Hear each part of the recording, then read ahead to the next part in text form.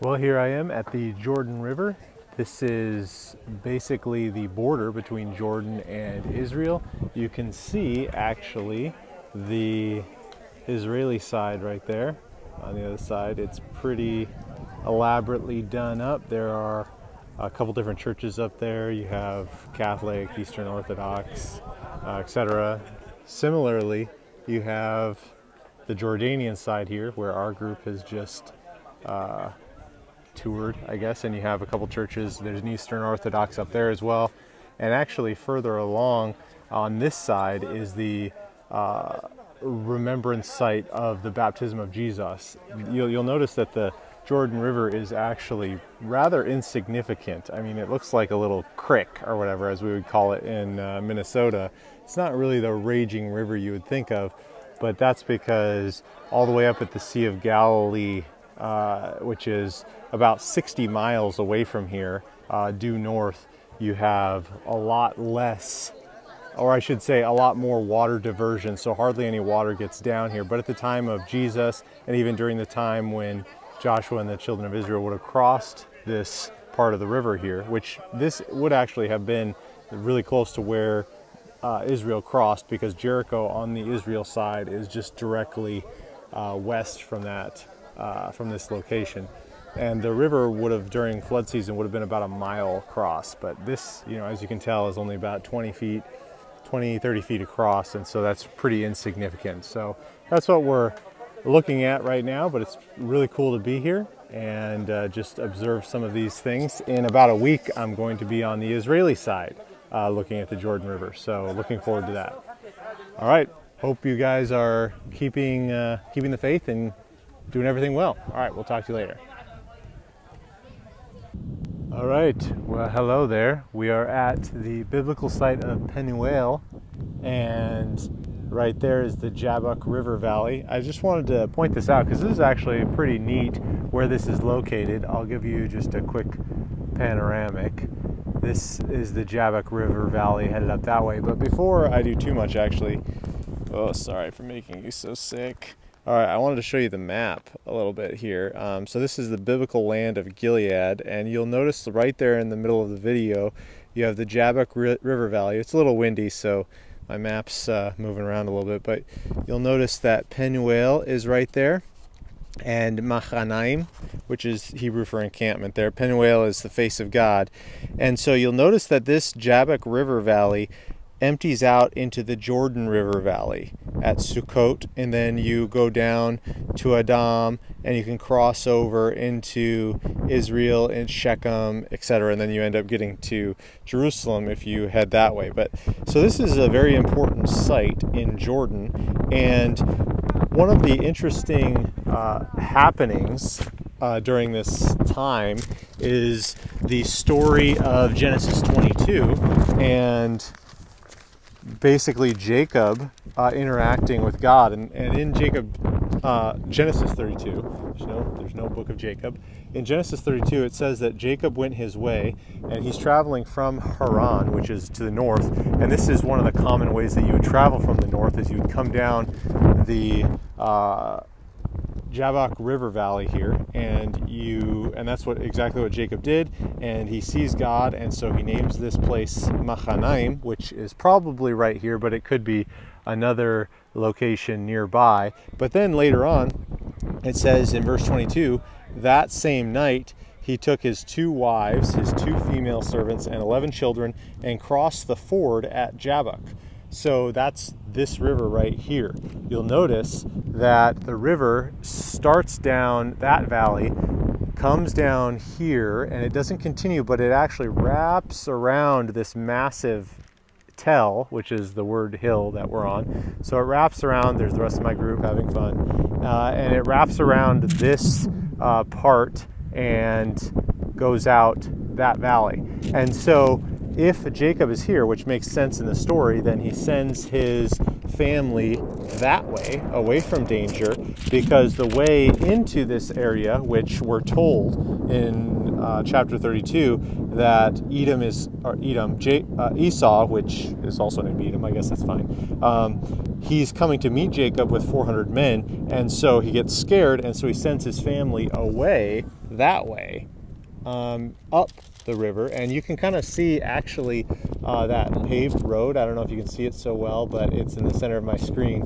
That paved road actually follows the ancient road route that uh, came through here uh, away, and so that's probably the route that his family would take. While Jacob waited here for his family members, uh, Esau, to either see see what would happen. But it's right here that in at the end of chapter 32 Jacob wrestles with God, and God says, "Your your name shall no longer be Jacob, but your name shall be Israel," which means uh, he has striven with God, or God strives with you. God fights uh, for you, and so I think that's what Israel is talking about: is the fact that uh, God is the one who's going to fight for you now. You're not going to be the one who uh, deceives and cheats your way into blessing like you have been in the past. No, this is going to be something that God does for you, and that's found right here at the location of Penuel, which is in Jordan at the moment. But originally, this was a very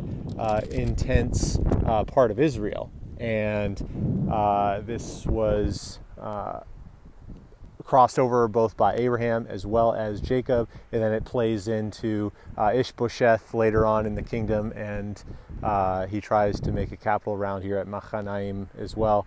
So that's uh, important. Also, one thing that I could point out is right there on that hill, uh, that's likely at least a location of a fortified tower during the story of Gideon. When Gideon comes and chases the kings up this way, he says in Judges 8 that he's going to come back and destroy this city, and he pulls down a tower, and it's likely that that would have been the location. There's fortified remnants of a tower right there. And so it's really kind of neat to see that that's a possibility as well. Just a reminder that the Bible's actually talking about real historical events because theology is based on history, not just some preconceived or erroneous notions that things are happening uh, and it's all make believe. No, these are real events in real time uh, in real history. So it's kind of fun to see it uh, on the ground.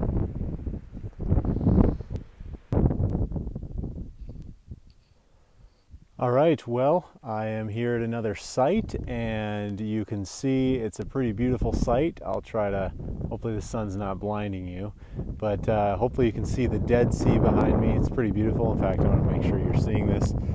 So you see the sun shining off the Dead Sea. And again, I've never seen it from this side. I've always been on the other side of the Dead Sea, so this is kind of neat. And then here's the Jordan River Valley. We are up in part of the mountains of Jordan right now, just uh, east of the river. So this is uh, just a beautiful panoramic view of the Jordan River Valley. And you notice the shadowy place over there. It brought to mind the biblical scripture of uh, Simba. Everything the light touches is our kingdom. What about the shadowy place over there? You must never go there.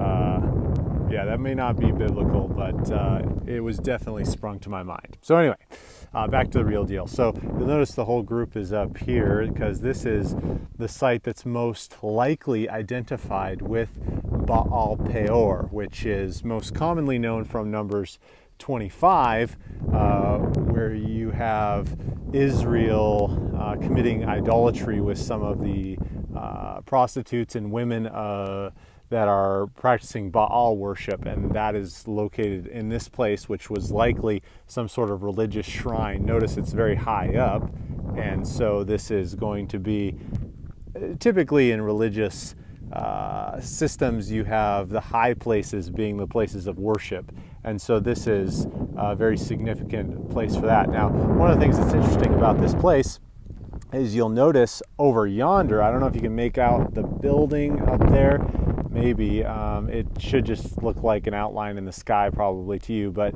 that's actually Mount Nebo, or what we would call Pisgah, it's located as. And that's really well known from Numbers 22 to 24, where you have uh, ba- King Balak uh, hire the prophet Balaam. And first in Balaam goes to one of the ridges, which is, we don't know which one it is, somewhere on that side of things. And then the second ridge he goes to, uh, is Pisgah, which is identified with Nebo. And so there he's overlooking, from that ridge, he's overlooking the people of Israel, which are encamped at Shittim, which I don't know if you can see the lake dead ahead. There's a lake because the Jabbok River is dammed up over there. Um, and Shittim is located down there. There's a tell uh, to the left of that lake. You probably can't tell it out, but it's it's a long, elongated tell down there. I can see it, but I know what I'm looking for. And that's where Israel was encamped, and then all around that, obviously, probably about two million people encamped in this valley, uh, just waiting to see what God would do. And so, if we swing back our viewpoint here, uh, you have Balaam prophesying from Mount Nebo overlooking this, which is a great view. I took some pictures, but I didn't uh, take a video because I uh, didn't think about it. But he goes up there for the second time to prophesy against them in Numbers 23. And then after he still doesn't prophesy or curse the people, but prophesies of their blessing, then King Balak brings him down here to uh, Peor and there he again looks over the valley and blesses the people. And of course, you have the famous prophecy in Numbers 24, where he's blessing the people and prophesying that out of you shall come a star and a scepter, meaning that this is a messianic prophecy. There's going to come an individual who has the right to rule, and he's going to bring deliverance for the people. And so, this is where this happens. Valley of the Transjordan, right here, as Israel is waiting to cross over into the land of Israel. Remember, they have to ford the Jordan River, which is uh, going to happen later on. And so they're they're waiting here in a holding pattern uh, until God uh, gives them the go-ahead to move forward. And so this is where they wait. And you can actually see. Uh, unfortunately, this is there's no way that it's going to show up on the video, but you could see Jericho on the other side of the Jordan great day, absolutely fabulous with with how clear it is. A lot of times it's not very clear this time of year, but you have clarity involved here because it rained this morning, and so that kind of got rid of a lot of the haze. So you can see Jericho directly across the land across the Jordan River here. This is something uh, so when you think about when Israel's camped out, waiting to go after Jericho, this is something that they're seeing every day.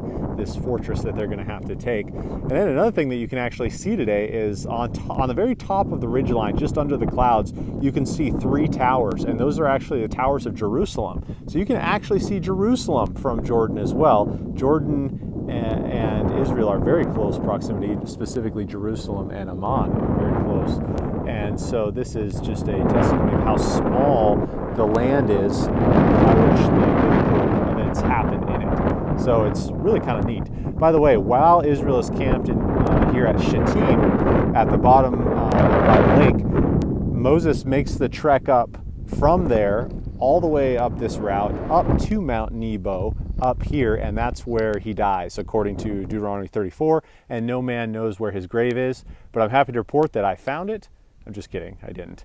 But uh, that's where where he dies, and then of course nobody knows where his grave is, and so it's just seeing the proximity there. You know, you just wonder what kind of walk that would have been. You know, the final final walk. Obviously, Moses was in incredible shape to be able to do that. I mean, it wasn't as if this was a death where he just was weak and slowly faded out. I mean, he marched up in full strength and God took his life. I mean, this wasn't just some uh, and of course, it's because he sinned and he, he was not no longer worthy of leading the people into the promised land because of that sin. And it's a you know a good reminder of the cost of sin. So, uh, you know, just thinking through thinking through all of these details is just really kind of rewarding. And of course, uh, I hope uh, to be back one day but I'm looking forward to Israel as well. And who knows? I've talked to some of you guys as well, uh, just joining uh, on, to go to Israel someday. I hope this kind of encourages you and lets you know that I'm not slacking over here either. I am exploring. I'm doing the Indiana Jones thing in some regard. But uh,